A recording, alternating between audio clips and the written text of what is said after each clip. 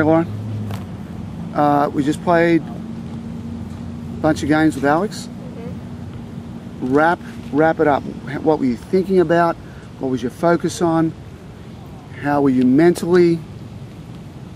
Give it to us. Um, I think overall, I was running the plays and running the shots, and I was being patient with the ball until I got the right one that I could either like cap off the shot with or just move it. And um, I was being, well, I guess I was being patient with it and just not going for too much too soon. And so, or just like a arm shot. I was trying to stay away from that and just make sure I was set up for every shot and just placed it where I wanted it to go. And I was thinking more and thinking more clearly than this morning and not getting upset if I lost a, sh- a point or a game or whatever. So I think that was all a lot better. So I'd give myself an A plus for this match. Excellent. Alex, uh, what did, from an opponent's perspective, what were Lauren's strengths? Uh, she could get every ball to C, and my C backhand is trash. I can't do anything with it. Got to improve that. And she definitely, I think she missed like three returns off serve, so that was really solid. And I mean, she really didn't miss many ground strokes at all. Did you feel she was going for too much, or there was no feeling of that, was there? No. There was a lot of patience at the start of the point.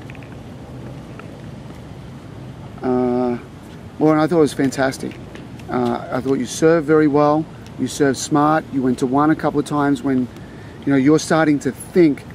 You know, you're you're asking that question: is where does my opponent think this is going? And Yeah. that that's the first question you ask. So you're moving away from what you think as the primary objective as, as to what they think is the primary. And there was definitely a couple of times they could have maybe went to A a little bit sooner instead of going back to like C or D, which I'll start to realize that a little bit sooner. You have a very good awareness of that now. Yeah, definitely. I agree. Um, I, I, I think the returns, I think that's a good point. We haven't done anything on returns, and uh, you know you did great with it.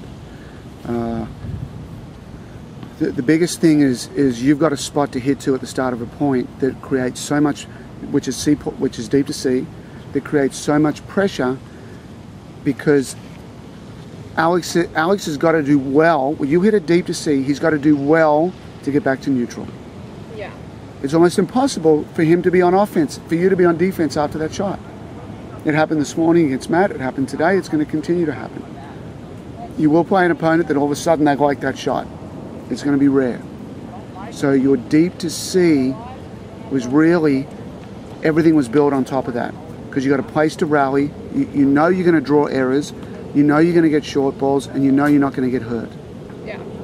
And then you can you can keep climbing to D, or you can you can open it up to A. I would say when you do go to A, improve slightly with your core position. Like flow through Yeah, well, well, there's a bit of flow, or there's at least probably a, a or get up to it a little bit sooner. exactly, Okay. exactly. Instead of waiting for it to Yeah, come back. and don't try and bang it too hard with just your arm. Yeah. Um, but you know, all of the fundamental work we did is coming out now. Yeah. The, the exaggeration of the stay at the end of the shot, I'm seeing it, and there's obviously less because you're playing a point, but it's a lot more than what you were doing. Yeah. You're doing a lot less running. Yeah, I definitely feel that. 'cause usually, like the couple, there's like a couple points where Alex got me like running back and forth, and I was on the defense, and there wasn't too many. There was maybe like two or three or something. Yeah. So, and usually I'm running like the whole match. I'm running like back and forth trying to retrieve the ball. Yep, yep. Deep C, can, you, you, and you're looking for so many more forehands. Yeah. Uh, you know, start of the week you were accepting backhands, and the run around forehand was like, why? You know, Yeah. why do that? I like my backhand. Why would I do it? Now we understand the three are: we upgrade, we double, and we freeze. And you're getting you're getting a lot of that. Really good. Um, you know, and I think the last thing is, uh, you know, you, you're just in a better frame of mind. You, you're not freaking out and panicking when you lose some points. You're understanding why you're losing points.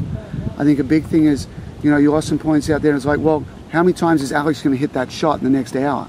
Yeah. You know, he, he hit some good shots, but it's kind of a one-off kind of deal. So, you know, we just don't sweat it. We just don't sweat it. You let that go, Yeah. and you get back to your patterns. So I thought that that was better. You know, certainly better than this morning. This morning was good, but this was better. Yeah, this was a lot better. Yeah, you you had less anxiety and, and a lot more comfort uh, on the court playing points. Yeah. So you know, th- this where we're headed with this is to get you into a tournament, just like Sasha. You know, a big tournament, and you can do this. Yeah. You can feel like this. You know, it, it takes time, and, and it takes trust, and it takes courage to, to let go a little bit, and not sweat the small stuff, and, and not get upset with the errors. But um, you know, this is a, this is a nice little preview of a match you're going to play here fairly soon. That that's you know going to mean a lot, and you can be this relaxed and calm and focused, and, and see the court as clearly as you did today. Yeah. Because you're seeing the court very well. Yeah. We- We've been able to remove the focus on you and put it on the other side and on the opponent. And it just it just takes all the pressure and just gets rid of it. Doesn't exist. Uh, all right, guys, I loved it. Good job, Alex. Thanks for coming out today. Uh, a little more spin on the high forehand. All right, cheers. Uh, one last thing is, I know how well Matt and Alex can play, and they can play a lot better, both of them, a lot better than they played today. And I'm going to give, because I'm going to give a lot of the credit to you. You made them play bad. You took away what they wanted to do, and you made them constantly uncomfortable and that's a big thing is that and you did it you know it's not like you had to step your game up and play big and, and play amazing your patterns of play and your depth especially and your depth to C made them play bad so it's like you know you can go, you can go out there and say well this player is good i'm like well tell me about their b game because well i'm not going to let them play their a game you didn't let matt or alex play their a game today you took that away from them so it's it's it's a different deal of saying I don't I don't have to go out and play my A game today because I'm going to make you play your B. That's what you want. That's a big part of tennis. And I think in the past you you know I get the feeling that you put too much pressure on yourself saying I need to go out there and play great today. Yeah. And that's not what it's about. The number one thing is how do I run some patterns that make you uncomfortable and break you down? Or try to beat them at their own game. Silly. Yeah. Or try to outrun them. Yeah. Doesn't work. We don't want that. You know, there were some times then, you know, um, Alex got some B forehands, a little more, you know, in the last 15 minutes, but it was tough for him to do anything because you'd broken down a lot of the other stuff around that. So that was that was good. We're all about making the opponent uh, not give them what they want, take away their strengths.